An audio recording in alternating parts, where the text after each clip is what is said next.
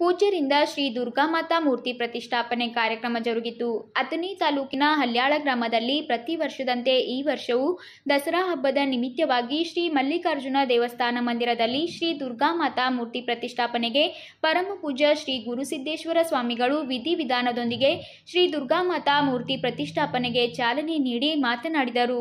ಸಮಾಜದಲ್ಲಿ ಇಂಥ ಒಳ್ಳೆಯ ಕಾರ್ಯಗಳನ್ನು ಮಾಡುತ್ತಿರುವುದು ನನಗೆ ತುಂಬಾ ಸಂತಸ ತಂದಿದೆ.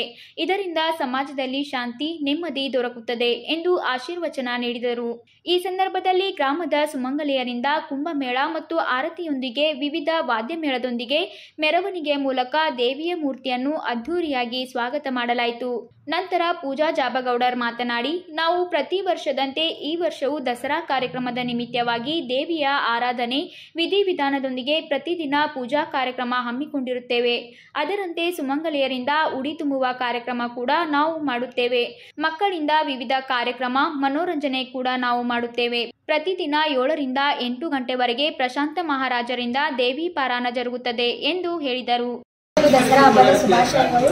ನಮ್ಮ ಹಳ್ಳ ಗ್ರಾಮದಲ್ಲಿ ಪ್ರತಿ ವರ್ಷ ಈಗ ಹತ್ತು ವರ್ಷದಿಂದ ನಡೆಯುತ್ತಿರುವ ಈ ನವರಾತ್ರಿ ಉತ್ಸವ ದೇವಿ ದುರ್ಗಾ ಮಾತೆಯನ್ನು ಪ್ರತಿಷ್ಠಾಪಿಸುತ್ತೇವೆ. ಪ್ರತಿ ವರ್ಷದಂತೆ ಈ ವರ್ಷ ಕೂಡ ಅದ್ದೂರಿಯಾಗಿ ದೇವಿಯ ವಿಜೃಂಭ ದೇವಿಯ ಉತ್ಸವವನ್ನು ವಿಜೃಂಭಣೆಯಿಂದ ನಡೆಸುತ್ತೇವೆ.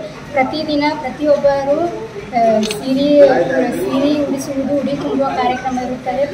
ಎಲ್ಲ ಮುತ್ತೈದೆಯರು ಸಾಯಂಕಾಲ ಪಾರಾಯಣ ಪುರಾಣಗಳು ಮತ್ತು ಅನ್ನ ಪ್ರಸಾದ ಇರುತ್ತದೆ. ಮತ್ತು ವಿಭಿನ್ನ ವಿಭಿನ್ನ ಕಾರ್ಯಕ್ರಮಗಳು ನಡೆಯುತ್ತವೆ. ಪ್ರತಿ ವರ್ಷದಂತೆ ಈ ವರ್ಷವೂ ಹೆಚ್ಚು ಜನ ಬಂದು ಪಾರಾಯಣಕ್ಕೆ ಸೇರಿಕೊಳ್ಳಬೇಕು. ಕಾರ್ಯಕ್ರಮವನ್ನು ನಡೆಸಿಕೊಳ್ಳಬೇಕು. ಪ್ರತಿಯೊಬ್ಬರು ಬರಬೇಕೆಂದು ವಿನಂತಿ ಮಾಡಿಕೊಳ್ಳುತ್ತೇವೆ